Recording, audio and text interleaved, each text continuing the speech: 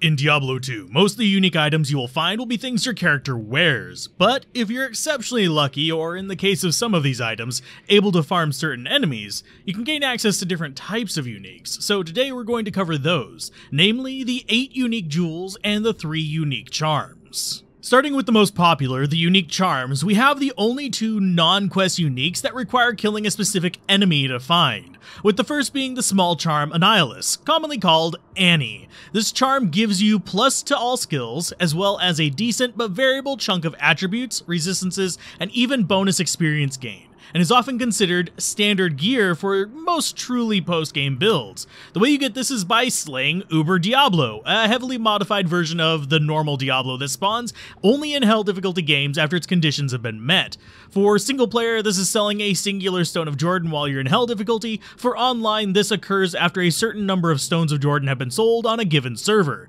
After this condition has been met, he will spawn at the next super unique location you trigger, so be prepared to fight a rather tough boss. Similarly, we have the Hellfire Torch, the result of the Pandemonium event, a challenge that you have much more control of, with plus 3 to a specific class's skills as well as a variable boost to stats and resistances. It is highly sought after and is sometimes a source of confusion among new players since it triggers Diablo's Firestorm on striking, which can be unexpected if you don't know about this item. Now to get this, you must kill Uber Mephisto, Baal, and Diablo in the Uber Tristram dungeon as part of the Pandemonium event, which frankly deserves a guide in and of itself, but the short version is you farm keys from the Countess, the Summoner, and Nihlathak, and then you use those keys to open portals to the three Uber dungeons, where you destroy upgraded versions of Andariel, Duriel, and Izual, to get the items you need access to Uber Tristram. Now, those organs are quite a journey to get into themselves, but overall, the entire thing is just going to take a very long time, but it is well worth it in the end, provided you're lucky enough to get the torch flavor you need for the class you need. The last of the unique charms is thankfully far less convoluted to find, but does require a lot more luck since it is just a random drop like any other unique, and that is Gheed's Fortune, the fairly well-known but overshadowed magic find grand charm that is also used extensively for gambling in the late game thanks to the vendor price reduction, and it's pretty handy while you're still farming uniques and sets for your characters. Moving on to the jewels, they all share one name, Rainbow Facet, and as you can guess, can be any color available to normal jewels, so don't count on them matching. It's also worth noting they can only spawn exceptionally late in the game, leading to their additional rarity, with the most common farming locations for them being, well, Hell Travincal, Chaos Sanctuary, and sometimes Worldstone Keep is another common farming one if you have a build for it, though they can drop in any high level area if you're lucky enough to get a jewel drop that turns unique.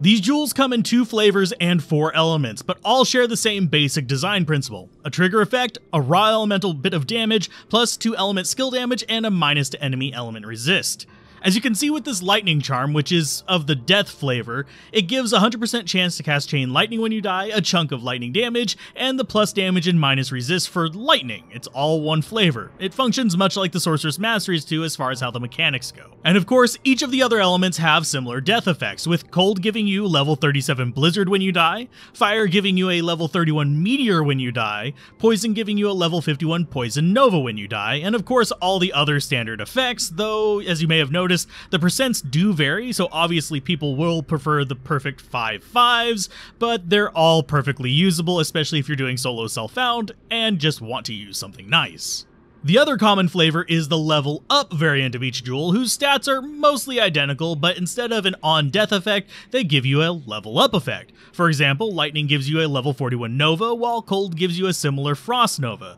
but fire and poison give you a more lasting effect with fire giving you a level 29 blaze on level up, and poison giving you a level 23 venom. Individually, they're not exceptionally potent, but when combined with the right builds, they give significantly more punch and are a lot more useful than they first appear. Though that said, they are exceptionally rare and will end up locking a piece of equipment into being mostly useful only to one element of build, but they're still very nice to have around for that element of build. So despite being limited, these special uniques are still quite useful and powerful, and I really hope that with the development of Resurrected, they hopefully will add more, but only time will tell if that comes true. That said, if you could add some unique charms and or jewels, what would they be and what needs would they fill? mention them down below and they might actually make their way into a suggestion video I have planned. And as always, thanks for the support and keep gaming, have fun, and peace out.